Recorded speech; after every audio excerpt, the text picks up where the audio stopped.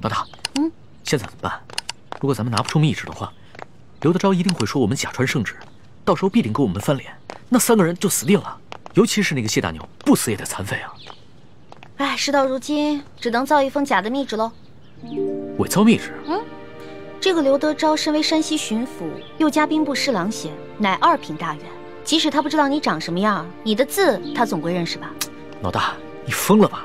这是我首次微服私访，毫无经验，我没有带上玉玺，也没有带上书写圣旨的龙纹黄卷啊。万事都有变通的嘛，龙小弟。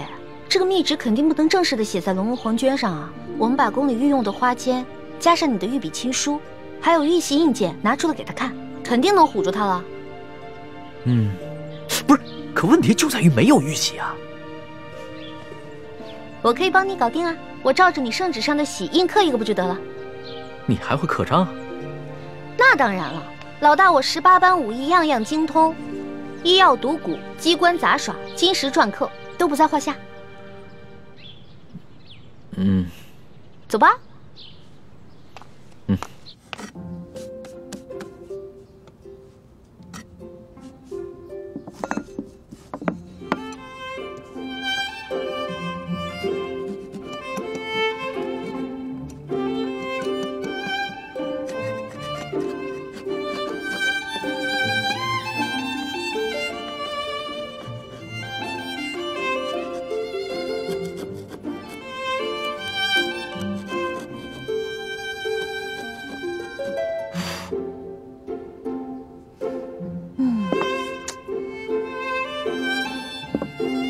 小弟，你看这样行吗？嗯。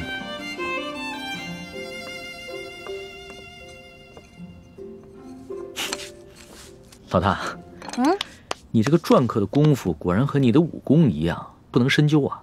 刘德昭只要仔细一看，就能看出其中的破绽了。切，问题在于他不可能仔细看。你那道圣旨是真的，他已经仔细看过了，怎么可能怀疑这个是假的呢？那我们只能碰碰运气了。刘德昭只要一看到这个密旨上的内容全部都戳中了他的软肋，必定啊就会心下大乱，不会仔细查看最后的印鉴了。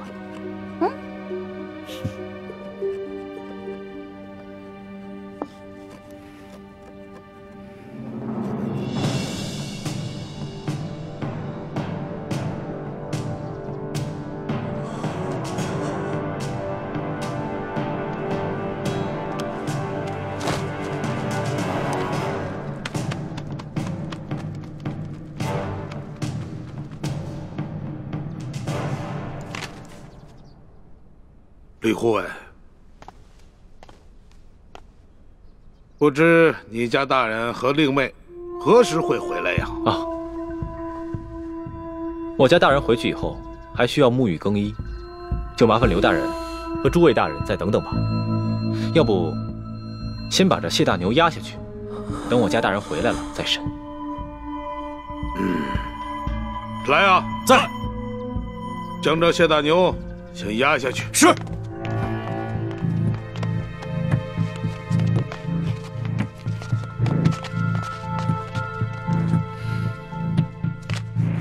李护卫，不知你家大人是哪一年考取的功名，出自谁的门下？我家大人身份尊贵，恕卑职无可奉告。好，身份显赫，好啊！哇，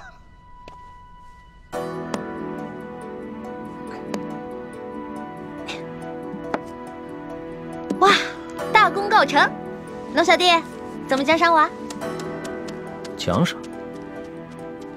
伪造官印已是杀头的大罪，这伪造玉玺是要诛九族的。嗯，龙小弟，什么意思啊？过河拆桥？我可是奉旨造假。我跟你开玩笑的。论到杀头的大罪啊，这几天我龙三犯的可不比你少。只不过老大，我真的很好奇，你到底是从什么地方来的？为什么会有这么多特殊的技能？我，我就是一个江湖混混啊，江湖小混混。自然要学的多一点，不然怎么混得开啊？对吧？相比于刘德昭啊，你更是让我大开眼界。亏你技艺不精，这个玉玺呢，你伪造的不能到以假乱真的地步，要不然的话，那可真就天下大乱了。龙小弟，我是不是做了什么忌讳的事儿啊？从此在你心里就记了我一笔了？没事儿，这要是别人呢，伪造玉玺，不管出于什么原因，我都不会轻饶了他。但是你嘛，我知道，你虽然天性顽劣。但是你一定不会做出什么让我不可原谅之事。嗯，虽然你嘴上这么说，但是我知道，在你心里已经对我有防备了。早知道我就不出这个馊主意了。另外想办法救那三个百姓啊。反正呢，我已经打定了主意。这次回宫以后，就一辈子把你拴在我身边。这样的话，你就不会犯下什么连我都保不住你的重罪了。我才不要在那个。像金笼子一样的紫禁城里坐牢呢？君无戏言，记住我刚才说的话。可是你现在已经不是皇上啦，你是我的龙小弟啊。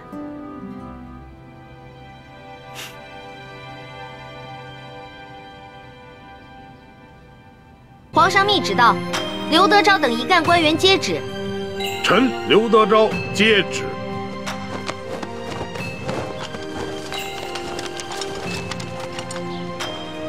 奉天承运，皇帝诏曰：卓龙三为钦差大臣，在查办舒总兵遇刺案之时，监督查访山西赈灾之详情，以及地方官员之官风政绩，如实禀报，不得有误。吾皇万岁万岁万万岁！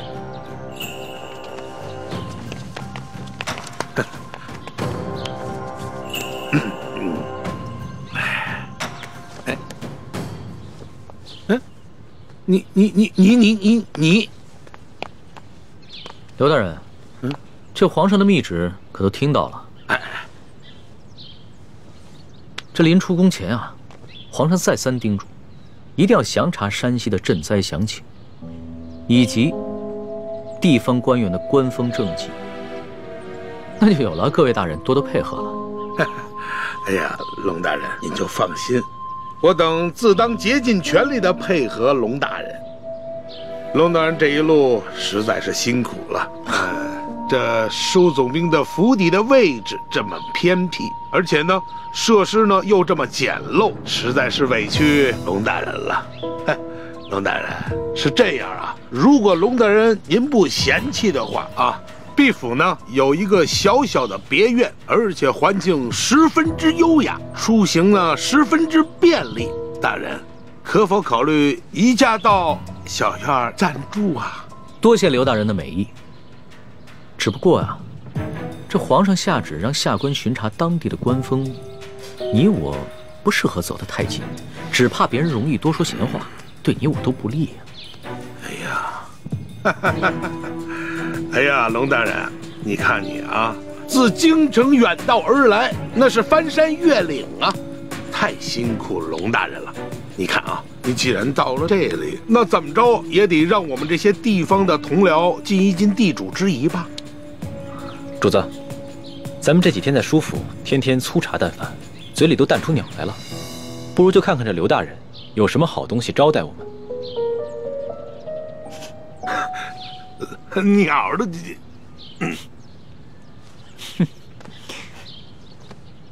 行，那就多谢刘大人了。刘大人，请，请，请，请。嗯。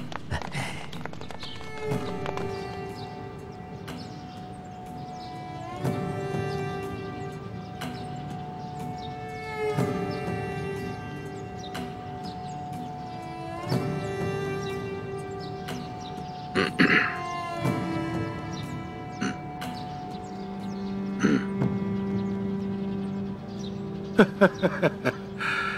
哎呀，龙大人啊，能够来此与我们这帮地方同僚小叙，实乃是我等荣幸之至啊！啊，